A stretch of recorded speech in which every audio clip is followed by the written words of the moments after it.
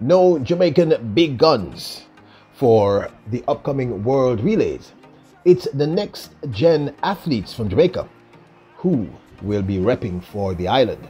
Welcome back to the channel, people. Welcome back to the channel. If this is your first time here, thank you for making it Peter Lloyd World. Go ahead, please hit the subscribe button we continue to grow. When you do that, hit the notification bell so you know when the next video drops. We drop a video at least once today here in Peter Lloyd World. Also, if you enjoy the content, please hit the like button and finally leave your thoughts. Are you ready? Yep, good to go. Well, the truth is, it's not really surprising, but for the upcoming World Relays, there are no big guns. There are no Shelly-Ann Fraser-Pryce, no Elaine Thompson Herah, no Shericka Jackson, none of the top tier one percenters in terms of Jamaican uh, sprinters or 400 meter runners. No, and, and Antonio Watson, etc., etc.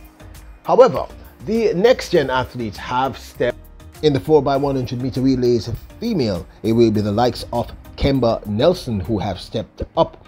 Alana Reid, the national record holder for the under 20 girls with her astounding 10.92. And on the male side, the likes of Ackeem Blake who has been having a great 2024 season so far. The team, which of course is selected by the Jamaica Athletics Administration Administrative Association, uh, has selected a pool of 31 athletes to represent Jamaica in the six events of the World Athletics Relays, which will take place in Nassau, Bahamas from May the 4th through to May the 5th. In the relay pool for the women's 4x100 meter relays is the likes of Kemba Nelson, Alan Alana Reid, Jodean Williams, Remona Burchell, Michaela Moody, Natasha Morrison, and Unique Daly.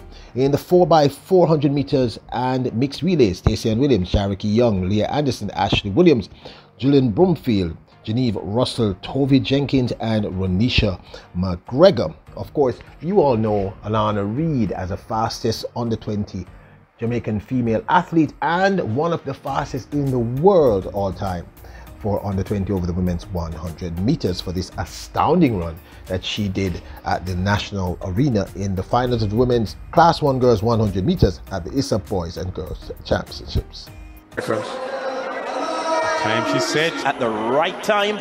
She is in prime time shape and just to, to deliver say, something special here again. Yes, Maurice. Less pressure can mean faster times. Indeed. So Alana Reid, the big favorite in lane five. Oh, how we would have loved to have seen the clash with Serena Cole because it's one apiece between them at the moment. The set position. Off they go. It's a fabulous start by Alana Reid. Alexis James of Petersfield gives chase, but Alana Reid steps away from the pack, decimates the opposition.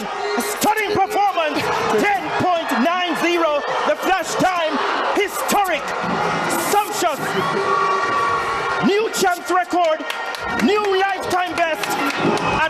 22-year-old record has been smashed in absolutely majestic terms.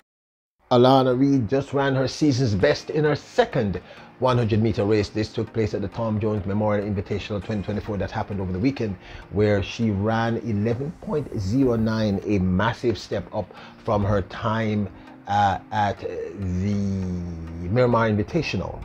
So she's improved, and I should also say in her first 100 meters for the 2024 season, the remarkable Kemba Nelson, I believe, ran 11.16, which is a solid season opener at the very, very beginning of her season over the 100 meters. Now available Peter Lloyd World t shirts with Yep, good to go, and bless up on the highest quality t shirts. You can get long sleeve, short sleeve, any size and or color you choose. We have them cut for women and for men. So if you want to support the channel, keep us glowing, keep us growing, keep the best in sports happening, get your Peter Lloyd World t-shirt because you Royals are truly the best.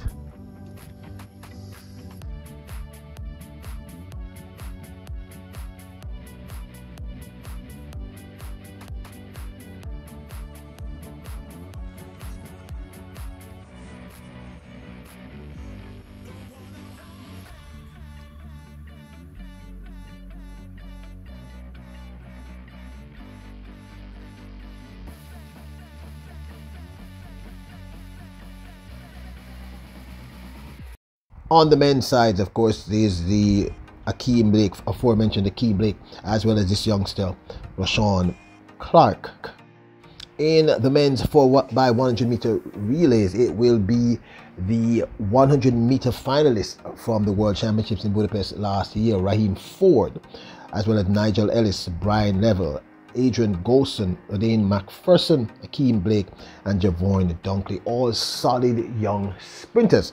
Ackeem Blake, of course, being the creme de la creme of that group, but they're all extremely talented in the 4 by 400 meter meters and mixed relays is Malik James King, Rusheen McDonald, Zandrion Barnes, Rashawn Clark, Demish Gaye, uh, Anthony Cox, uh, Karayme Bartley, Sini Wilson, and Sean Bailey. A pretty strong uh, mixed relay 4x400 meter relay team, but generally, I would say um, mostly youngsters. Not all, but mostly youngsters. Of course, you all remember Keem Blake running his personal best in 100 meters of 9.89, beating Christian Coleman last year with a decent start. It was matched by Blake and Bracy Williams either side of. But here comes Christian Coleman. Can he turn it on? Charleston with the United States strong as well. But look at that finish from Ackeem Blake.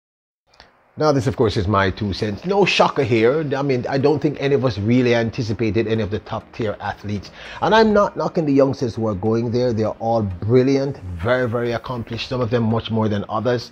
So it's great to see um, the likes of uh, Kemba Nelson and Alana Reid leading off the girls 4x1, as well as Stacey Ann Williams, Charokee Young, both extremely experienced, remarkable talents. Junelle Bromfield also. Of course, in the men's 4x100 meter uh, relays, Ackeem Blake, Raheem Ford, Cadron. These are all exceptional young talents, next gen superstars in terms of the men's sprints. And not to mention the four, uh, the, the 4x400 as well as the 4x mixed is a, a, an even deeper pool, I think, um, with the likes of Zandrion, um, Rashawn, etc. But these are all next gen athletes, and I'm kind of excited about that. Of course, we would have loved to have seen uh, Antonio Watson, we'd have loved to have seen um, Shericka or, or um, uh, Elaine or, or Shelly.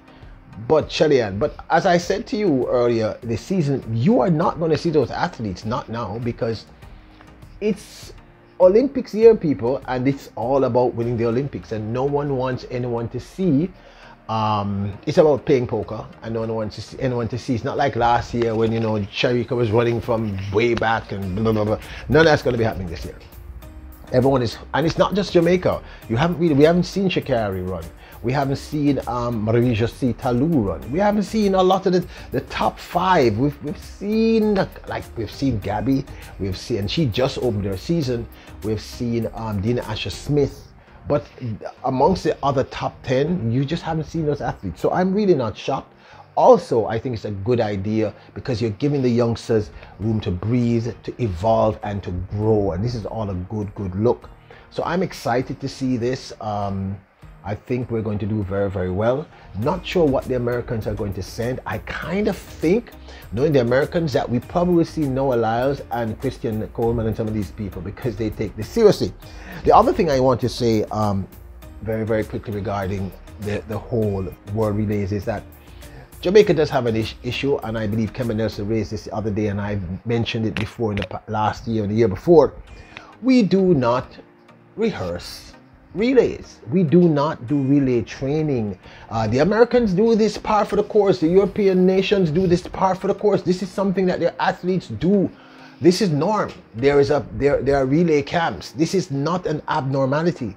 I think one of the reasons why we have not broken any records recently, even when we had the fastest women on earth on the, those teams, and why the Americans have been able to beat us, is simply because we do not have relay camps. And if you want to be a completely dominant force outside of just the short sprints, as well as the the um, the, the, the, the, field events, we have to dominate in the 4x1 and the 4x4. And one of the challenges that we're having as a country is we do not have great baton passes. But this, of course, is my two cents. Now, don't forget to hit the subscribe button, notification bell, the like button. Remember, your royals, kings, and queens. Bless up!